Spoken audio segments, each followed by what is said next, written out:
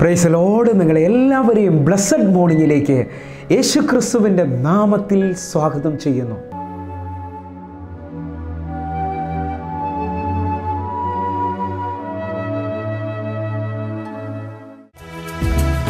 കാണുന്നു ഞാൻ വിശ്വാസത്താൽ.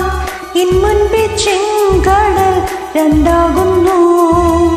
കാണുന്നു ഞാൻ വിശ്വാസത്താൽ.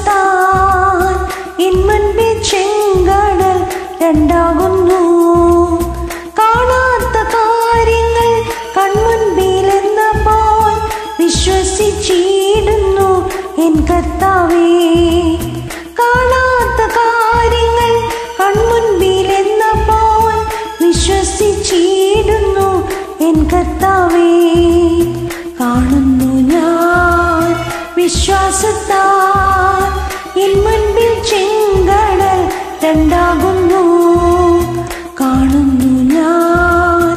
വിശ്വാസത്താൽ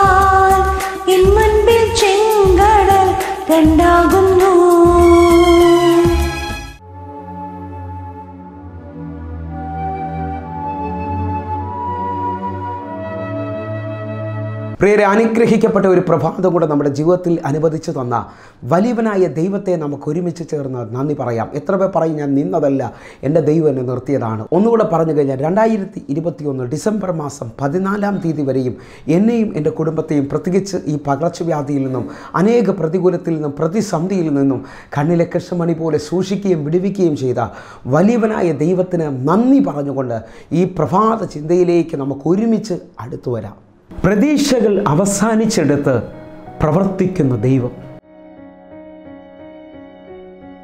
പ്രിയരെ പ്രാരംഭവാക്യത്തിലേക്ക് വിശുദ്ധ ലൂക്കോസ് എഴുതിയ സുവിശേഷം ഏഴാം അധ്യായം അതിന്റെ പന്ത്രണ്ടാമത്തെ വാക്യത്തിലേക്ക്. അവൻ പട്ടണത്തിന്റെ വാതിലിനോട് അടുത്തപ്പോൾ മരിച്ചുപോയ ഒരുത്തനെ പുറത്തേക്ക് കൊണ്ടുവരുന്നു. അവൻ അമ്മയ്ക്ക് ഏകജാതനായ മകൻ അവളോ വിധവയായിരുന്നു. പട്ടണത്തിലെ ഒരു വലിയ പുരുഷാരവും അവളോട് കൂടെ ഉണ്ടായിരുന്നു. പ്രിയരെ ഈ പ്രഭാതത്തിൽ ദൈവം നമ്മോട് ഇടപെട്ട അനുഗ്രഹിക്കപ്പെട്ട വചനത്തിനായി നമുക്ക് ഒരുമിച്ച് ചേർന്ന് നന്ദി പറയാം. ഈ പ്രഭാതത്തിൽ നാം ചിന്തിക്കുന്നത് പ്രതീക്ഷ അവസാനിച്ചെടുത്ത് പ്രവർത്തിക്കുന്ന ദൈവത്തെക്കുറിച്ചാണ്. പ്രിയരെ നാം വായിച്ചു കേട്ട കുറിവാക്യത്തിൽ മകൻ മരിച്ചുപോയ ഒരു വിധവയായ അമ്മ കണ്ണുനീരോടുകൂടെ ഒരു കൂട്ടം പുരുഷാരവുമായി അവന്റെ ശവമഞ്ചം ചുമന്നുകൊണ്ട് ഇതാ പട്ടണവാതിലിനോട് അടുക്കുകയാണ്. അവരുടെ അടുക്കിലേക്ക് എന്റെ യേശു കടന്നു വരികയാണ്. അതിന്റെ പതിമൂന്നാമത്തെ വാക്യം. അവളെ കണ്ട് കർത്താവ് മനസ്സലിഞ്ഞ് അവളോട് കരയണ്ട എന്ന് പറഞ്ഞു. അവൻ അടുത്ത് ചെന്ന് മഞ്ചം തൊട്ടു. ചുമക്കുന്നവർ നിന്നു. നാം വായിച്ചു കേട്ട വാക്യപ്രകാരം യേശു ഇതാ ആ കരയുന്ന മാതാവിനെ കണ്ട് മനസ്സലിയുകയാണ്. ആ മാതാവിനോട് നമ്മൾ ഒരുമിച്ച് ചേർന്ന് ചോദിച്ചാൽ ആ മാതാവ് നമ്മോട് പറയും ഞാൻ ഇതുവരെയും ഇത്രയും നാളും ജീവിച്ചത് ഈ മകന് വേണ്ടിയാണ്. ആ മകനും എന്നെ വിട്ട് മാറ്റപ്പെട്ടിരിക്കുകയാണ്. എന്റെ എല്ലാ പ്രതീക്ഷകളും അവസാനിച്ചിരിക്കുകയാണ്. ഈ പ്രഭാതത്തിലും ഇതേപോലെ എന്നെ കേൾക്കുന്ന അനേകരുണ്ട്. എല്ലാ പ്രതീക്ഷകളും അവസാനിച്ച ജോലിയുടെ പ്രതീക്ഷ അവസാനിച്ച സാമ്പത്തിക പ്രതീക്ഷ അവസാനിച്ച തലമുറയുടെ വിവാഹത്തിന്റെ പ്രതീക്ഷ അവസാനിച്ച കുടുംബം തകർന്ന നിലയിൽ നിൽക്കുന്ന അനേകർ എന്നെ ശ്രദ്ധിക്കുന്നുണ്ട്. നിങ്ങൾ എന്നെ ഒന്ന് ശ്രദ്ധിച്ചു നോക്കിയാൽ യായിറോസിന്റെ മകൾ മരിച്ചുപോയെങ്കിലും യായിറോസിന്റെയും ആ കുടുംബത്തിന്റെ പ്രതീക്ഷ അവസാനിച്ചെങ്കിലും എന്റെ യേശു യായിറോസിന് ആ കുഞ്ഞിനെ മടക്കി കൊടുക്കുന്നത് കാണാൻ കഴിയും. ഈ പ്രഭാതത്തിൽ എന്നെ കേൾക്കുന്നവരെ നിങ്ങളുടെ പ്രതീക്ഷയ്ക്ക് ഇനി വകയില്ലെന്ന് പറഞ്ഞാലും നമുക്ക് ഒരുമിച്ച് ചേർന്ന് യേശുവിന്റെ പാതപീഠത്തിലേക്ക് ഒന്ന് ആശ്രയിക്കാൻ പ്രിയരെ. കാരണം കാനാവിലെ കല്യാണ വീട്ടിലെ പ്രതീക്ഷകളെല്ലാം അവസാനിച്ചതാണ്. എന്നാൽ എന്റെ യേശു ആ വീട്ടിൽ പച്ചവെള്ളം കൊണ്ട് വലിയൊരു അത്ഭുതം ചെയ്തു. എങ്കിൽ എന്നെ കേൾക്കുന്ന പ്രിയരെ ഈ പ്രഭാതത്തിൽ എന്റെ യേശു ഇന്ന് നിങ്ങൾക്ക് വേണ്ടി പ്രവർത്തിക്കുവാൻ ശക്തനാണ്. യോഹനാന്റെ സുശേഷം പതിനൊന്നാം അധ്യായം അതിന്റെ ഇരുപത്തിയൊന്നാമത്തെ വാക്യം നാം ശ്രദ്ധിക്കുമ്പോൾ ലാസർ മരിച്ചിട്ട് നാല് ദിവസമായി. തന്റെ സഹോദരിമാരുടെ എല്ലാ പ്രതീക്ഷകളും അവസാനിച്ചിട്ടുണ്ട്. അവിടെ നിൽക്കുന്ന പുരുഷാരത്തിന്റെ പ്രതീക്ഷ അവസാനിച്ചിരിക്കുകയാണ്. എന്നാൽ യേശുവിന്റെ അടുക്കിലേക്ക് വരുന്ന ലാസറിന്റെ സഹോദരി മാർത്ത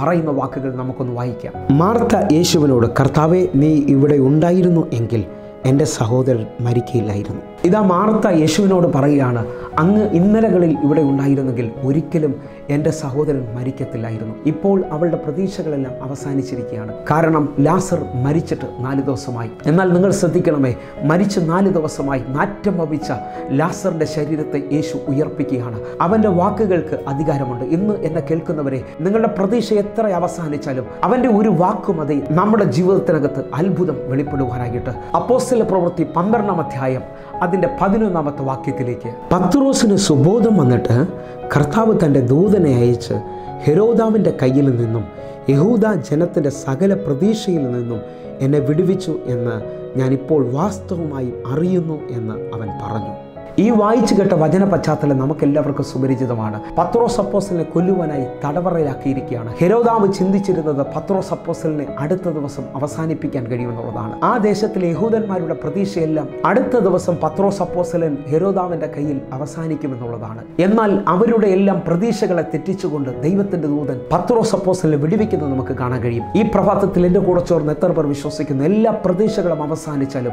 എന്റെ ദൈവം ഇന്നൊരു അത്ഭുതം ചെയ്യുവാൻ ശക്തനാണ്. ഈ പ്രഭാതത്തിൽ എന്നെ കേൾക്കുന്ന ഓരോ ദൈവമക്കളും ഈ സമയത്ത് എന്റെ കൂടെ പൂർണ ഹൃദയത്തോടെ പ്രാർത്ഥിക്കാൻ തയ്യാറാകണം. കാരണം പ്രതീക്ഷ അവസാനിച്ചെടുത്ത് ഇതാ ദൈവം പ്രവർത്തിക്കാൻ പോവുകയാണ്. ദൈവം വലിയ കാര്യങ്ങൾ നമുക്ക് വേണ്ടി ചെയ്യാൻ പോവുകയാണ്. കണ്ണുകൾ അടയ്ക്കാം. ഞങ്ങളെ സ്നേഹിക്കുന്ന ഞങ്ങളുടെ നല്ല കർത്താവെ പൂർണ ഹൃദയത്തോടെ എന്നെ കാണുന്ന എന്നെ കേൾക്കുന്ന ഓരോ മക്കൾക്കുമായി ഞാൻ പ്രാർത്ഥിക്കുന്നു. പ്രതീക്ഷകൾ അവസാനിച്ചെടുത്ത് അത്ഭുതകരമായ കൈമാറ്റങ്ങൾ നടക്കാൻ പോവുകയാണ്. അത്ഭുതമായ വാതിലുകൾ തുറക്കുന്നു. എന്നെ കാണുന്ന ഓരോ മക്കൾക്കും വേണ്ടിയും ഈ പ്രഭാതം ഒരു അത്ഭുതമായി തീരാൻ പോവുകയാണ്. കർത്താവെ ഞങ്ങൾ അങ്ങയുടെ പാതപിടത്തിലൂടെ അടുക്കുകയാണ് അപ്പ അങ്ങ് ഒരു അത്ഭുതം ഈ പ്രഭാതത്തിൽ ഞങ്ങൾക്ക് വേണ്ടി ചെയ്യാൻ പോകുന്നു. വലിയ വാതിലുകൾ അങ്ങ് തുറന്നതിനായി നന്ദി. ഞാൻ അത്ഭുതത്തിൽ വിശ്വസിക്കുന്നു. യേശുവിൻ നാമത്തിൽ പ്രാർത്ഥിക്കുകയാണപ്പ. എന്നെ കാണുന്ന എന്നെ കേൾക്കുന്ന ഓരോ മക്കളെ ഞാൻ സമർപ്പിക്കുന്നു. ഒരിക്കൽ കൂടി ആ പാതപിടത്തിലേക്ക് ഞങ്ങളുടെ എല്ലാ വിഷയങ്ങളും വയ്ക്കുകയാണ് ഞങ്ങളുടെ പ്രതീക്ഷകൾ അവസാനിച്ചെടുത്ത് അങ്ങ് പ്രവർത്തിക്കാൻ പോകുന്നതിനായി നന്ദി. ഞങ്ങൾ ഒരുമിച്ച് പ്രാർത്ഥിക്കുന്നു. യേശുവിൻ നാമത്തിൽ പ്രാർത്ഥിക്കുന്നു. കേൾക്കണം പിതാവേ. ആമേൻ. ആമേൻ. പ്രിയരെ പ്രഭാത സന്ദേശം നിങ്ങൾക്ക് അനുഗ്രഹമാകുന്നുവെങ്കിൽ നമ്മുടെ യൂട്യൂബ് ചാനൽ സബ്സ്ക്രൈബ് ചെയ്യും അതേപോലെ ഫേസ്ബുക്കിലേക്ക് നിങ്ങൾ ജോയിൻ ചെയ്യുകയും ചെയ്യണമെന്ന് ഓർപ്പിക്കുന്നു. അതേപോലെ എല്ലാ ദിവസവും നമുക്ക് ഇന്ത്യൻ സമയം വൈകിട്ട് അഞ്ച് മുപ്പത് മുതൽ സൂമിൽ ആരാധന നടക്കുകയാണ്.